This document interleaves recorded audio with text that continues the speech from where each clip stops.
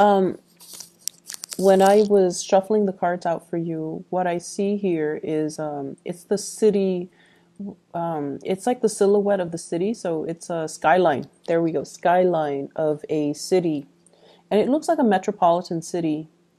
And then I see this layer of fog, kind of. Um, it, it was very heavy, and it was like at the bottom of the skyline and it's lifting upwards into the sky. It, it clears up, and there's there are you know these stars and, and the moon. It's all coming out, illuminating the skyline. And um, what I feel though with this message is there's definitely a fog lifting in your life. There might have been a, a, a situation where things were very hazy, fuzzy. You didn't have a clear sense of direction. And the, the fog just sort of, you know, lingered there for a really, really long time. For many of you, it might have been years.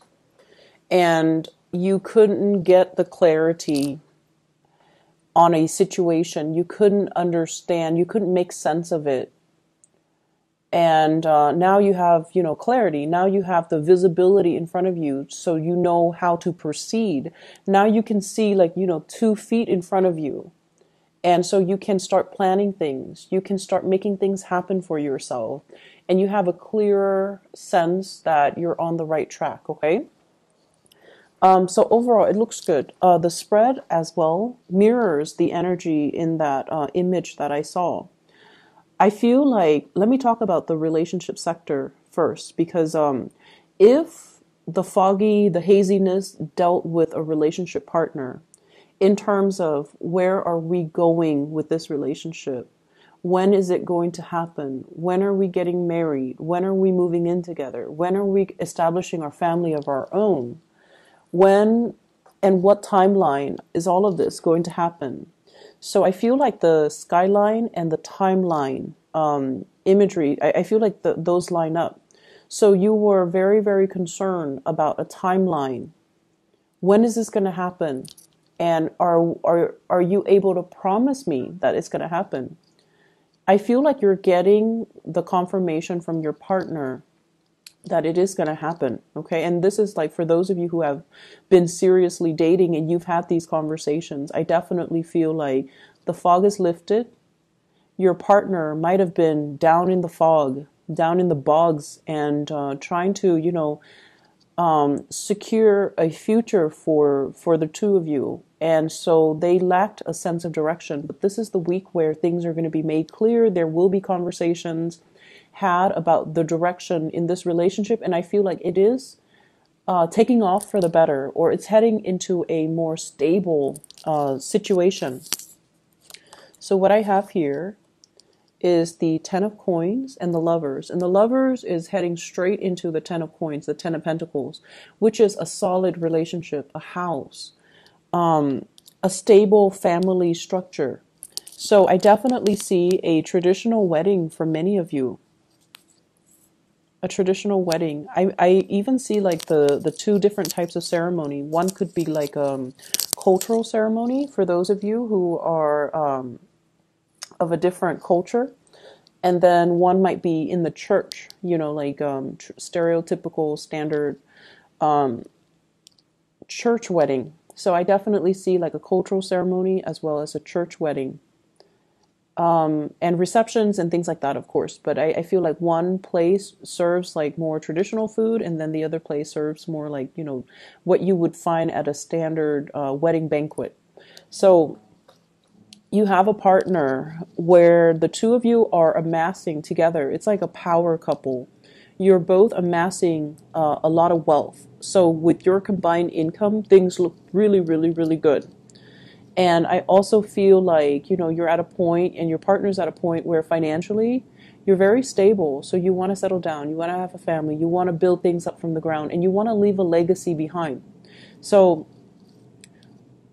whatever oppositions you have faced, whatever lack of clarity or uncertainty you have been dealing with for the past few years with this relationship partner, you're going to get your wishes fulfilled and you're going to get the stability, that promise, okay? Um, I feel like for some of you, you're letting other people interfere in your relationships.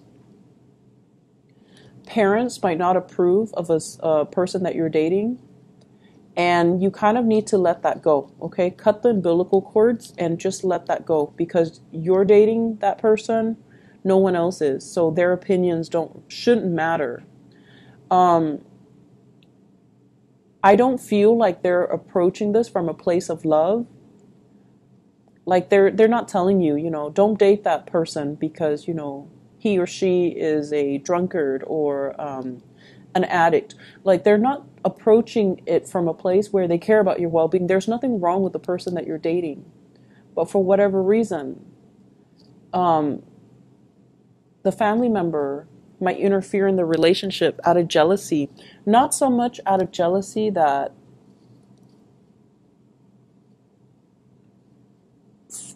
I guess of your uh, I guess like of you, but more so because your your partner is taking time uh, away from them. Okay, it's it, it's like you're spending a lot of time with your partner, and you're spending less time with a family member, and so the family member is lashing out in a resentful way, like you're not uh, spending enough time with me. This person is hogging all of your time.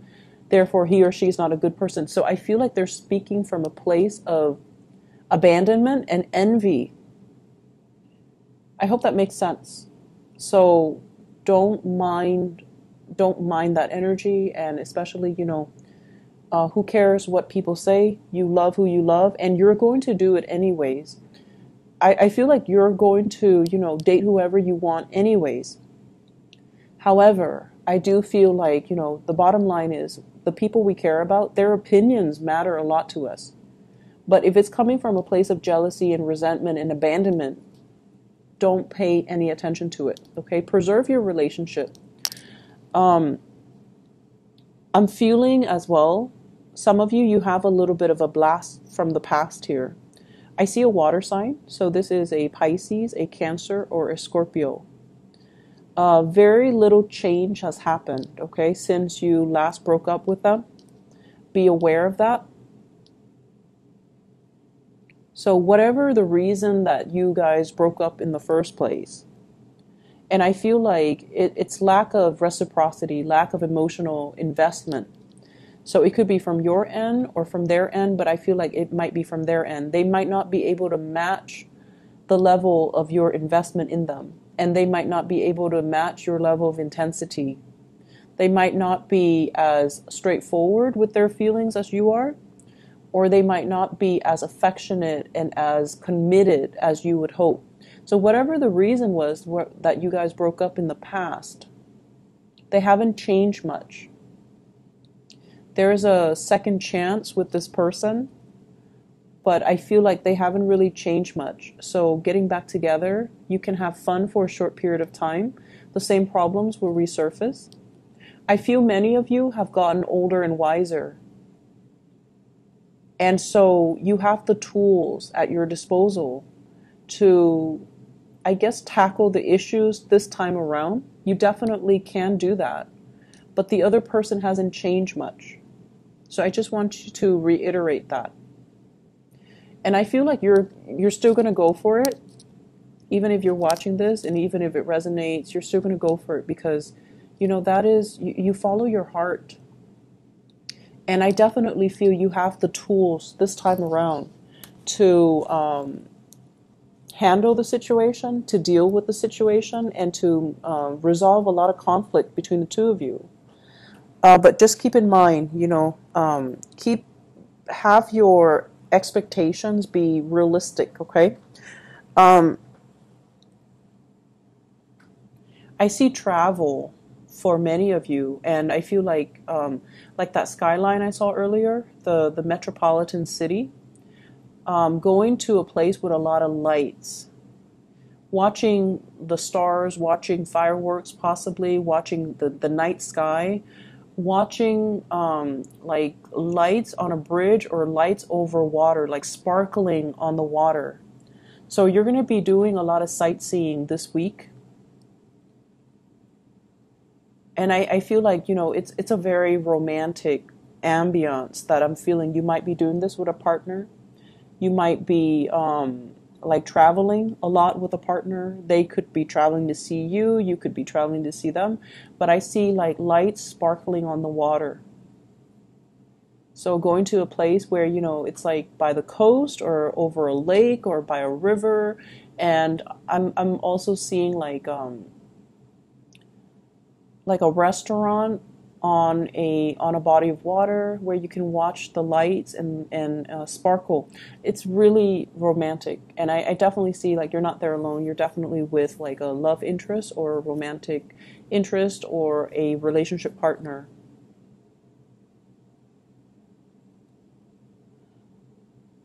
What I'm feeling as well uh, with this energy about the fog lifting.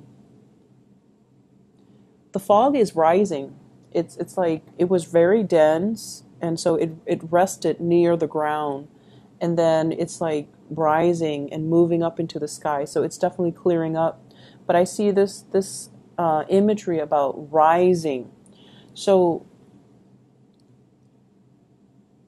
what i do feel though is um, your standards and your expectations have really risen okay um, I see a lot of growth and a lot of, um, like I mentioned earlier, older and wiser. What you used to tolerate in people, you don't tolerate anymore. You're getting definitely um, like just older and wiser, and you're a lot more discerning about what types of behavior you put up with. You're definitely you're definitely coming into a sense of I, I feel like um, having a, a being able to figure people out faster and then being very curt about behaviors or things that you won't tolerate in other people. So I, I definitely feel this energy here about, you know, um, expressing yourself and being able to especially like selfishness from other people, not tolerating it. And if somebody is going to exhibit very selfish or just, you know, self absorbed behavior, you're going to mirror that back at them. And um, I, I feel like this is coming in from people who are very opportunistic.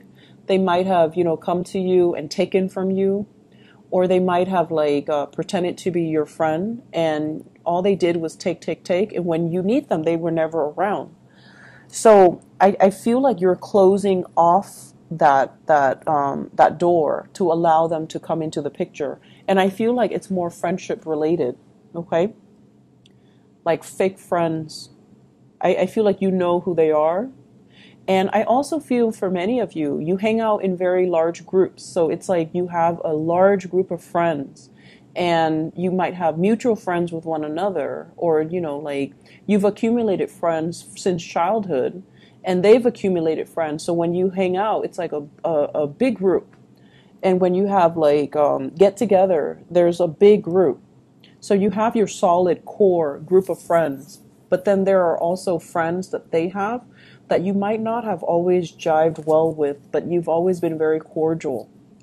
But I definitely see some things coming to light about, you know, this person is not very generous, or this person is a taker, or this person is, um, is, or this person is just, you know, manipulative, or whatever the situation is so I feel like you've always seen it, but you've always been cordial because they are a friend of your friend.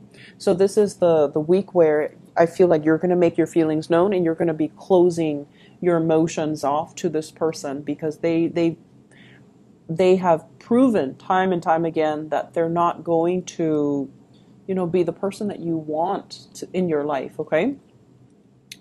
Um yeah, I, I see a lot of travel, a lot of movement with this spread. And I feel like, you know, you, you need to get away. I, I don't know why, but I feel like the work situation hasn't been too great. Um, I see a little bit of isolation in the work environment, not feeling like that sense of camaraderie, not feeling like you belong, not feeling like you're you stand out in some way. And Aries, you guys have to stand out in some way for you to feel at peace at home and, and to feel like, you know, you belong. So I, I, I feel this element about, you know, work has got you down. Um, and I feel like, you know, your refuge might be home, might be family, might be, you know, your lovers, your significant other, uh, your friends, and especially traveling, looking at new sites, uh, looking at new, new things, and being able to see new horizons, new new ventures, and especially new things that you can work towards. Um, whatever it is with family members as well, you know, you love them, but they you you have really strong person the people in your family family they have really strong uh, personalities. I see kind of like if you ever get together with your family, everyone has an opinion. Everyone has an opinion. No one's very passive or even passive aggressive. Everyone likes to tell each other what to do. Everyone's really bossy. Everyone's just very highly opinionated. And, uh, you know, so of course they're going to tell you, like, down to what to wear. They're going to tell you, you know, you should you should not date who uh, such and such. You should not wear this. You should not wear that. You should do this. You should do that. So you know, it's it's all it's just something that they do because they have very very strong opinions. But it's hard for you not to take it to heart. I feel like, you know, you're going to do what you're going to do, but it's really hard for you to not take it to heart, especially when somebody says it so uh, with such conviction, right?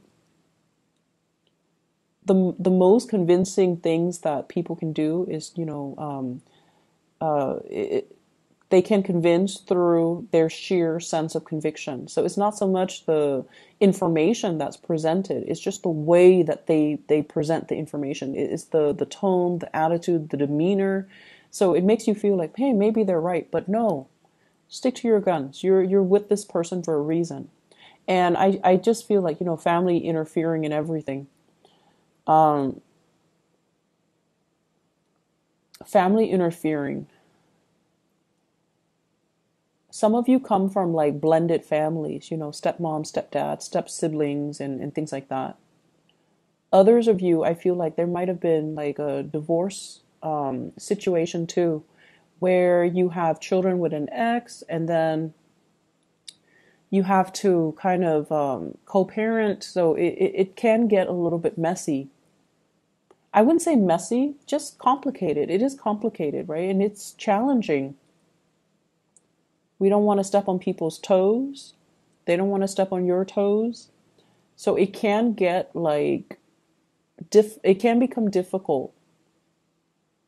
So I, I just feel like, you know, there's just a lot of people meddling.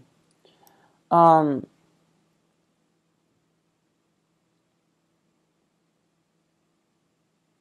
I'm also feeling as well.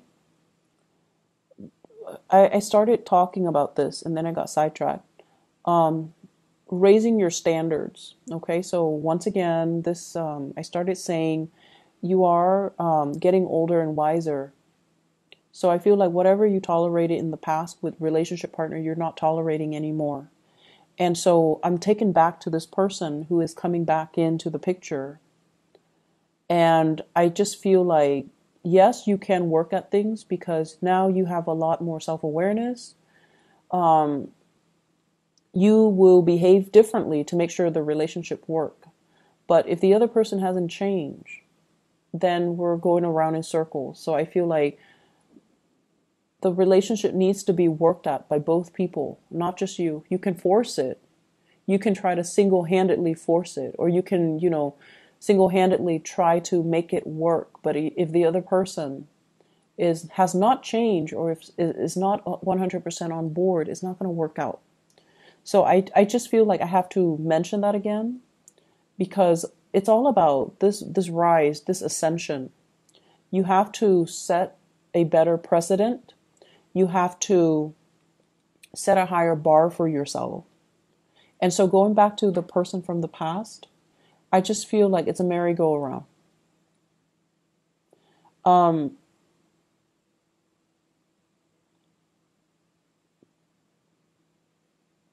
I'm also saying, seeing, um, waving goodbye to some people. Okay, like I, I can no longer have you in my life. You're a taker.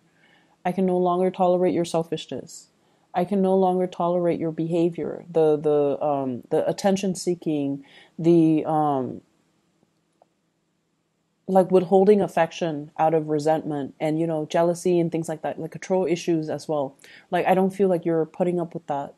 And in the past, you might have thought, you know, oh, this person is jealous that I was with somebody else or I was um, out with my friends. And, you know, it was adorable. It was cute. It showed me that they care about me.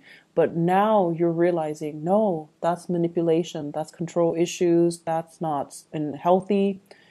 I'm not going to be in it. But I feel like it, it took, you know, multiple tries for you to come to this point where you realize and you can really identify and label things and and and kind of accept things for what they are, which is good. Like seeing the situation for what it is.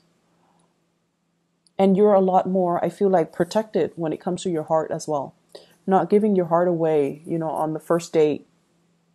Okay? Not giving your heart away. Like, um, not falling head over heels, swept off your feet, madly in love with somebody after a first date so you're becoming a lot more calm, a lot more self contained, a lot more discerning and discriminate, and just moving a little bit slower because you have this space of self awareness. In the past, I rushed in and I get burnt. So now I'm going to, you know, be a little bit more like go with the flow, see how things pan out, and not give my heart away so fast. So I definitely see a slowing down in that energy but it looks good overall. Um, it's like it's a marathon, not a sprint. So you're going to get there. And if that person jives well with you and if they're going to be the right person for you, they're still going to be there first to the last date. Okay. They're still going to be around. So don't rush into situations. Don't kind of, um, when we get swept off our feet, when we like fall so madly in love, it tends to be with the wrong person because we haven't taken the time to really get to know them before we give our heart away. So I feel like you're definitely being protective of your heart. Um, for those who are single and dating, be a little bit more discerning this week. Okay? Things are not what they seem. And I feel like by the end of the week, you're going to start to see that fog lifting so be a little bit discerning. For those in relationships, I definitely see an escalation in the love, in the commitment, in the the, the planning of the next step in this relationship. So it looks really beautiful. Um, Aries, I hope you enjoy your week. Um, I will see you guys soon, and uh, best of luck with everything.